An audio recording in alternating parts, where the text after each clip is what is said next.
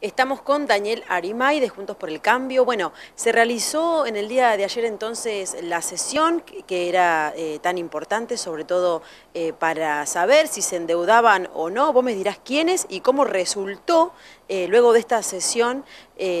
las diferencias, podríamos decir, o cómo resultó en cuanto al municipio de nuestra ciudad.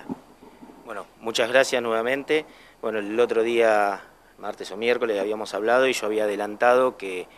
eh, esta semana estaba la sesión en, provincia, en la Cámara de Diputados, senadores de la provincia, para aprobar el, o tratar el endeudamiento de la provincia, el pedido de Kisilov y aprobación del presupuesto. La semana pasada habían acusado al bloque de Juntos por el Cambio de, no, de boicotear, de no querer aprobarlo, pero en realidad lo que hicimos esa semana, o sea, nuestros legisladores, eh, en realidad es lo que siempre decimos una oposición responsable y tratar de negociar con el Ejecutivo y decirle, eh, bueno, en qué van a gastar la plata del endeudamiento y tratar de que la mayor parte de esa plata vaya a los municipios en calidad de obras o de libre disponibilidad para hacer frente a la emergencia del COVID, pero que venga a los municipios. Así los intendentes pueden eh, destinarla, obviamente, a, en este caso a Salto y a la gente de Salto. Entonces, esa fue la negociación, yo algo había adelantado en la semana y por suerte anoche se aprobó y bueno, ahora les voy a contar qué es lo que Salto se verá beneficiado de acá a fin de año, no estamos hablando para el año que viene, nada, de acá fin de año. Entonces, es algo, una buenas noticias donde principalmente la mejor noticia es que ahora va a haber plata para pagar a los empleados municipales, entonces lo que se había prometido a principio de año, que en la semana pasada estos días se le había negado y habían pateado el, aumento para el año que viene. Ahora creo que, el intendente, eh, si ya tiene esta, estas noticias y si tiene diálogo con el gobernador, va a saber que la plata está y, espero que cumpla el acuerdo y le pague a los empleados. Te paso a decir que son cuatro fondos los que van a venir a Salto, tres, en principio tres ya aprobados. Eh, uno es el fondo eh, Ritondo le llamo yo, que es el presidente de nuestro bloque en la Cámara de Nación. Cuando se aprobó el presupuesto nacional, se aprobó un fondo de 5 mil millones de pesos para distribuir entre los distritos de la provincia de Buenos Aires y a Salto le toca como mínimo, seguramente es más, pero falta saber bien cómo lo van a distribuir, pero como mínimo son casi 7 mil millones, eh, eh millones de pesos, perdón, que eso va a ser destinado solo para obras esos 7 millones de pesos solo para obras. Ahí lo que se va a hacer, obviamente el intendente tiene que, eh, como se hizo cuando estaba María Eugenia Vidal, es hacer un listado de las obras y a partir de ahí la provincia lo aprueba y eh, el, dinero va a venir exclusivamente para esas obras que se indiquen, no, no podrá ser utilizado para otra cosa. Después va a venir otro fondo que se llama FIM, Fondo de Infraestructura Municipal, que a Salto le va a tocar 5 millones 300 más o menos, o sea que entre los dos ya tenemos 12 millones que también va a ser para obras. Nomás que son de distintas cajas, uno viene de Nación y otro de provincia. Pero son casi 12 millones de pesos en total que van a venir para obras. Ahí lo que nosotros de nuestro bloque lo que vamos a hacer es, eh, seguramente la próxima sesión, es tratar de eh, manifestarle al municipio de que ya empiece a a tratar de hacer el plan de obras para que lo antes posible la provincia lo apruebe y puedan empezar a llevarse adelante. Después va a venir un fondo que es de libre disponibilidad, o sea, el intendente lo puede usar para pagar sueldo, para pagar gastos corrientes, para lo que, para lo que crea dentro de la emergencia que se llama justamente Fondo COVID. Entonces es un fondo que va a venir, son 8 millones de pesos que le va a llegar a, a Salto. Va a venir 4 millones este mes y 4 millones el mes que viene. Y eso, eh, como le digo, eso sí es libre disponibilidad, el intendente elige pagar a los proveedores, a, lo que crea que tiene necesidad, porque es como un fondo de emergencia justamente por la pandemia. Y después hay otro fondo que se, todavía se está negociando, que son bueno, 750 millones de dólares para toda la provincia,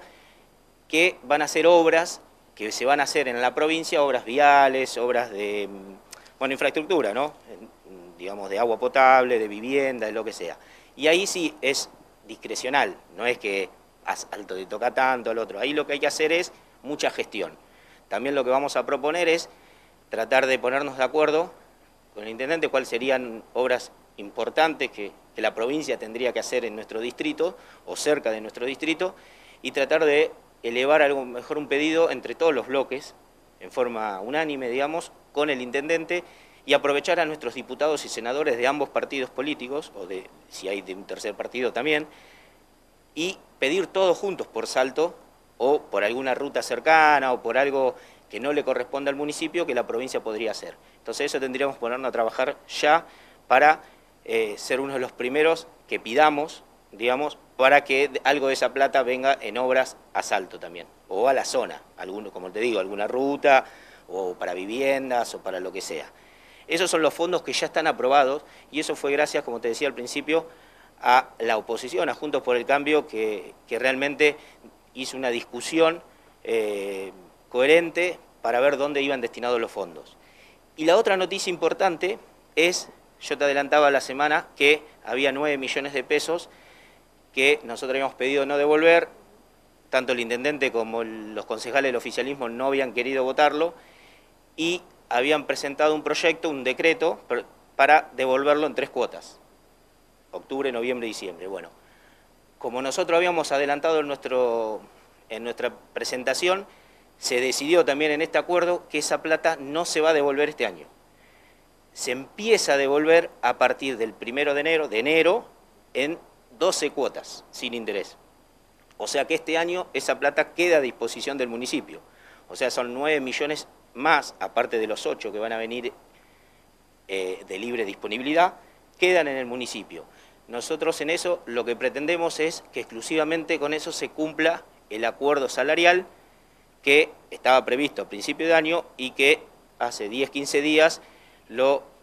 digamos, lo dieron de baja, hicieron una reducción de salario y lo patearon para el año que viene. Y también las horas extras, porque no se liquidó, o sea, no se les pagó en tiempo y forma las horas extras, ahora recién me entero que ayer, creo o anteayer, lo liquidaron y se las van a pagar creo que a partir del lunes. Pero estamos pagándolo con atraso y al principio no se iba a pagar, ahora se paga con atraso, entonces ahora tenemos estos 9 millones de pesos que se tenía pensado devolver, ahora no se va a devolver, que se destine al pago de salarios en tiempo y forma. Daniel, ¿esto ya han tenido la, oportunidad o en la próxima sesión se planteará? Eh,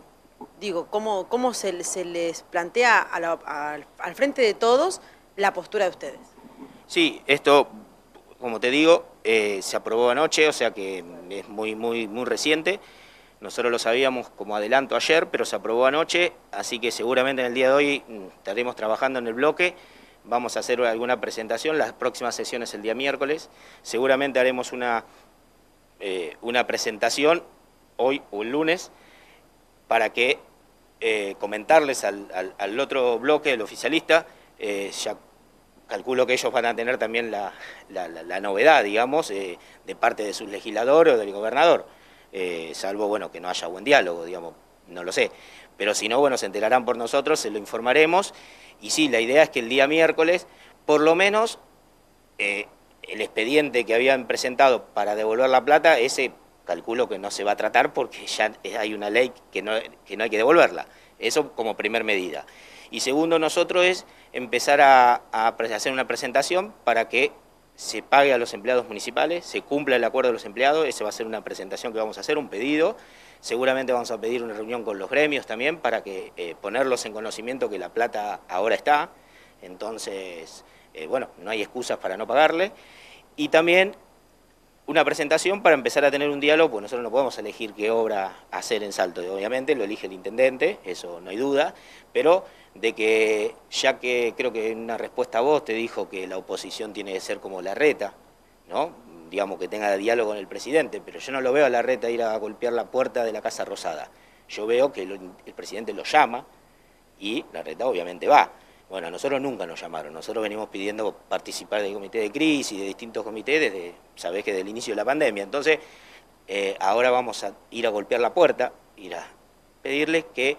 obviamente nos reciba para tratar de, justamente, estas obras, pedirlas en forma conjunta a la provincia para que tenga más fuerza. Obviamente, si lo pedimos en forma conjunta, si utilizamos nuestros legisladores que nos apoyen, seguramente vamos a conseguir más.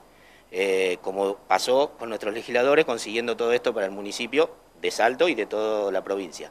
Así que esperemos que haga como el presidente y eh, nos reciba y podamos, eh, podamos en forma conjunta elevar una nota con las obras que, que Salto necesita. Sabemos, y lo dijimos en campaña, tema cloacas, tema la planta depuradora, la calle Rebagliati, el, polideportivo municipal, son obras que sabemos, y lo dijimos en campaña, que eh, Salto necesita. Seguramente habrá otras que por ahí no tenemos conocimiento y el Ejecutivo sí, así que esperemos hacer fuerza todos juntos y, que con este, estos fondos Salto se beneficie en alguna obra importante y los empleados puedan eh, cobrar en tiempo y forma.